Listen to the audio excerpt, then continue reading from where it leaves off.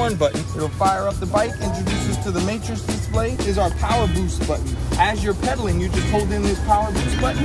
That will engage all 250 watts of the motor and kind of pull you forward really good cyclist, you'll be like, man, this bike is either really that good or I'm that good. Automatic shifter. Four gears here in the hub. By the speed, you can you can customize it in your apps. You don't have to worry about your, your gears. Anti-theft. I'll just kick it.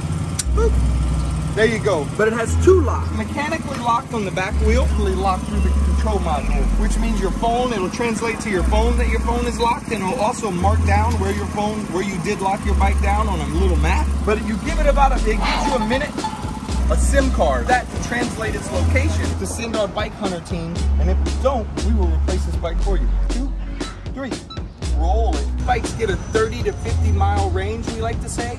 And now the bike is ready to go ready to ride. Cool, let me go grab you a helmet.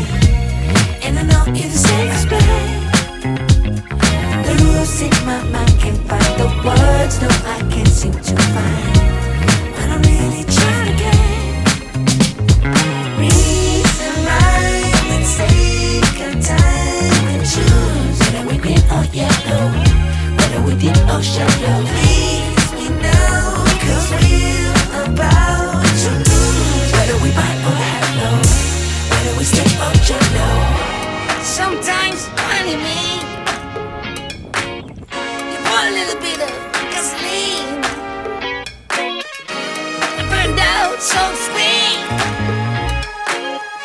Come a little closer. Here's disclosure.